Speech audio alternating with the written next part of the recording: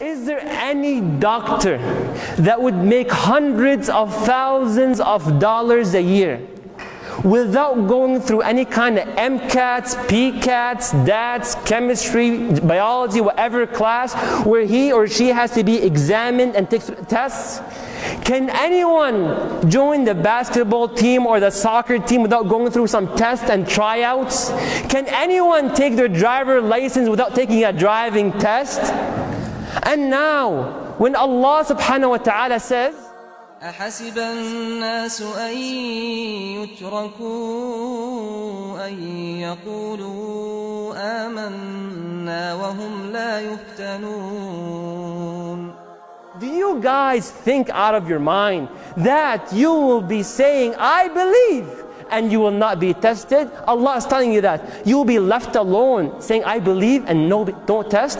Am, subhanAllah, Allah subhanahu says, أم حسبتم أن تدخلوا الجنة ولما يأتكم مثل الذين خلوا من قبلكم And you think you'll enter paradise just like that? And you will not face what the people in the past have faced?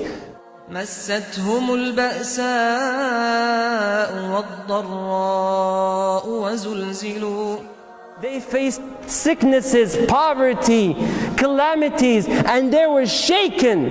وَزُلْزِلُوا out of tests and trials. You think you will just say, I believe and enter Jannah? You think you will just go with life so smoothly? and you will go to Jannah where you have a mansion, where you go around and all kind of food is around. You'll go to Jannah and you will never ever in your life be sad or depressed. You will go to Jannah and enjoy every beautiful scene around you. You think you will go to Jannah where in that place you will never be sick, you will never sneeze except beauty. You will never have any sweat and if you had sweat, eh, when you have sweat, it'll be musk and beautiful smell. When you go to Jannah, your house will be made of bricks of gold and silver, all that in Jannah, just like that.